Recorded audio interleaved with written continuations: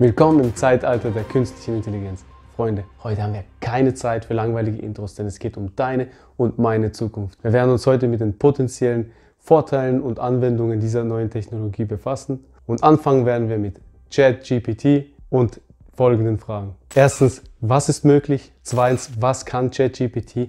Drittens, wie kann ich diese Technologie für mich persönlich nutzen? Und viertens, welche Gefahren entstehen für uns Menschen dadurch? Das und noch vieles mehr erfahrt ihr jetzt in diesem Video. ChatGPT wird verwendet für Chatbots, Textgenerierung, Übersetzungen, Zusammenfassungen und viele andere Anwendungen im Bereich der KI. Etwas genau ausgedrückt ist ChatGPT ein fortgeschrittenes Modell für maschinelles Schreiben und Textgenerierung, das auf einer großen Menge an Texten trainiert wurde und ist eins von mehreren Projekten, die OpenAI ins Leben gerufen hat.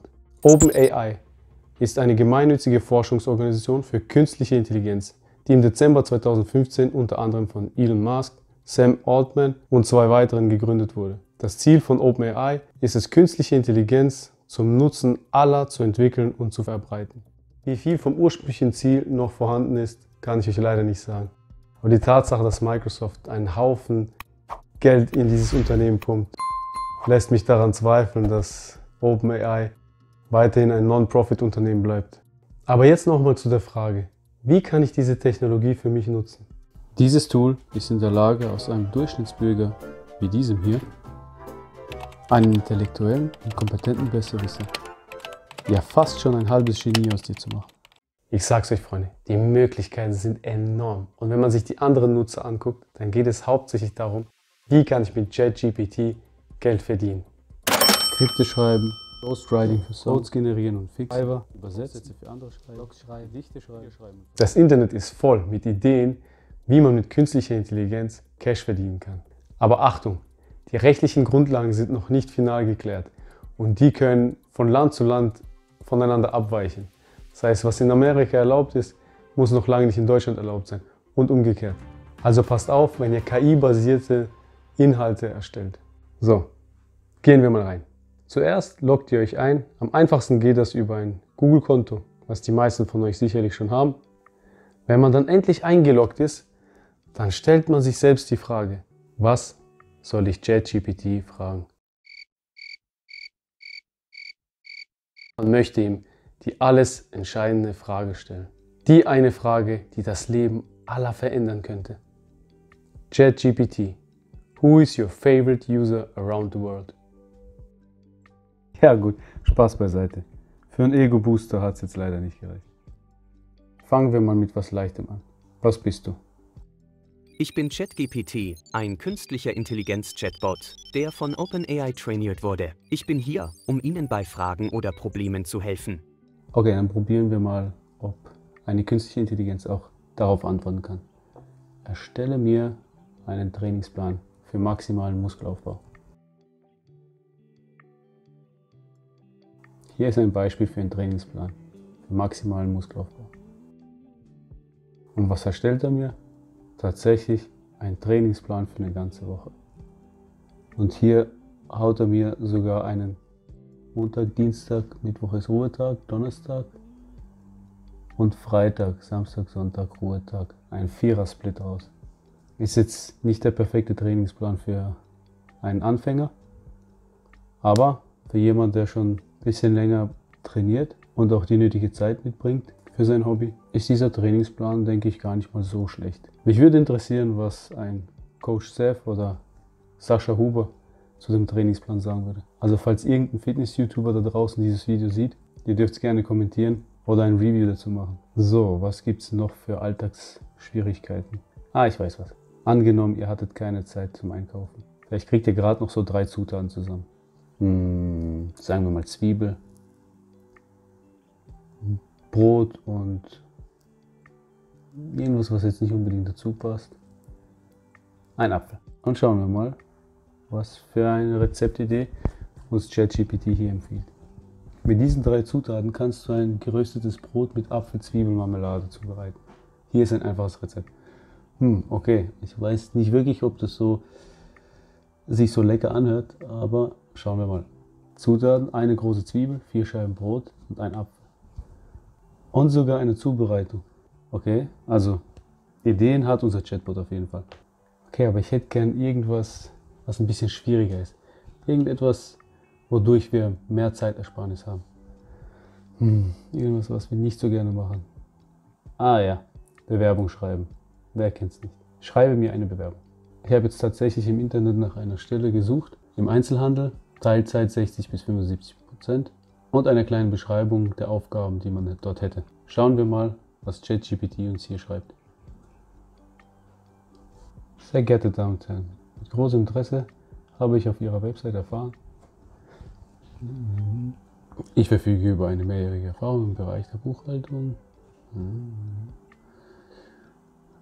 Verständnis für komplexe Zusammenhänge. Und ich bin davon überzeugt, dass ich ein wertvoller und zuverlässiger Mitarbeiter für Ihr Unternehmen sein werde und freue mich auf die Möglichkeit, mich Ihnen näher vorzustellen. Mit freundlichen Grüßen, Name. Also auf jeden Fall eine super Vorlage für eine Bewerbung. So, aber das ist noch nicht alles. JGPT kann noch viel mehr. Dieses Tool ist sogar in der Lage, Codes zu generieren und wird auch jetzt schon von vielen Informatikern eingesetzt, um bestimmte Abschnitte im Quellcode zu prüfen und wenn nötig auch zu korrigieren. Wir fragen ChatGPT, ob er uns ein HTML-File erstellen kann für ein klitzekleines Spiel, das wir im Anschluss dann noch testen wollen ähm, und lassen ihm da komplett freie Wahl. Und los! Hier ist ein HTML-Code für ein einfaches Spiel.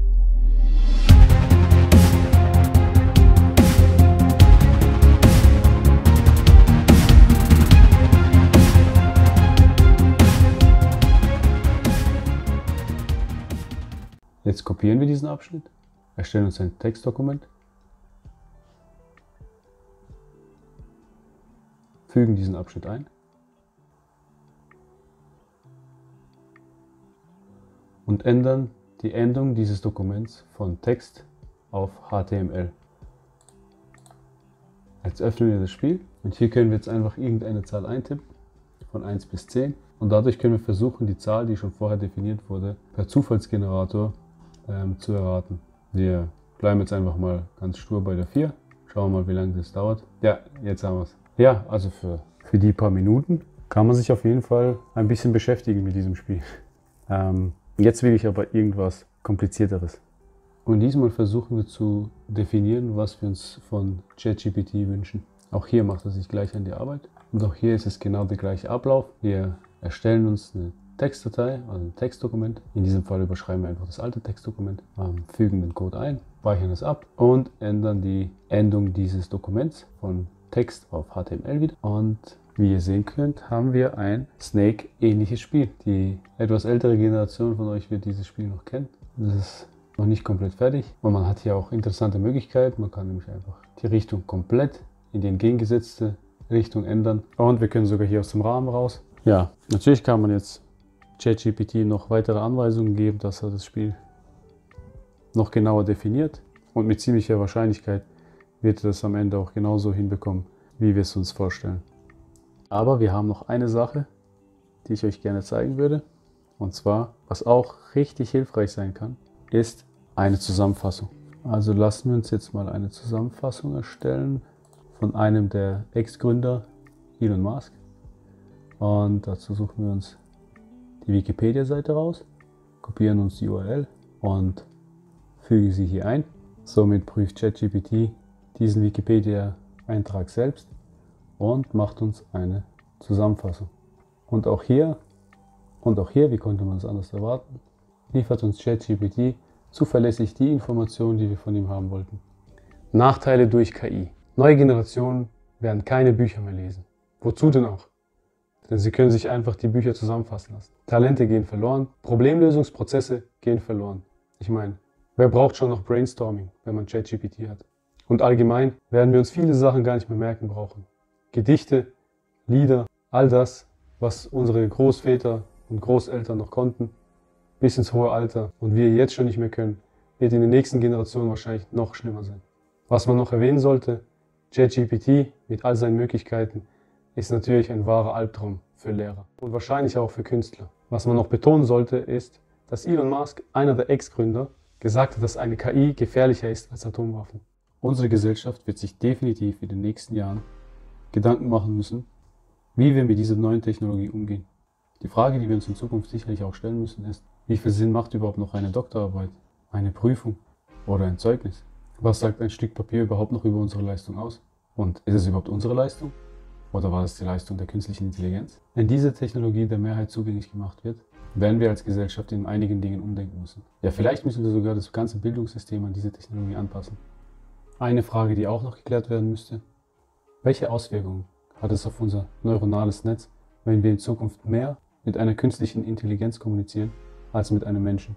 Wird sich die Art unserer Kommunikation verändern? Müssen wir dann überhaupt noch sowas wie das Sender- und Empfängermodell beachten? Ich meine, hier gibt es keine Beziehungsebene mehr und die ganze Kommunikation läuft nur noch über die Sachebene. Naja, aber vielleicht bin ich doch einfach nur zu weit mit den Gedanken. Wir werden sehen. Doch auch ChatGPT hat so seine Schwächen. Und manchmal gibt es sogar richtig schlechte, ja beinahe schon lebensgefährliche Ratschläge. Was ich damit meine, seht ihr dann im nächsten Teil. ChatGPT versus Me. Zum Abschluss möchte ich noch betonen, dass ChatGPT ein mächtiges Sprachmodell ist, was in vielen Bereichen eine wertvolle Ressource sein kann. Ihr habt es schon selbst gesehen.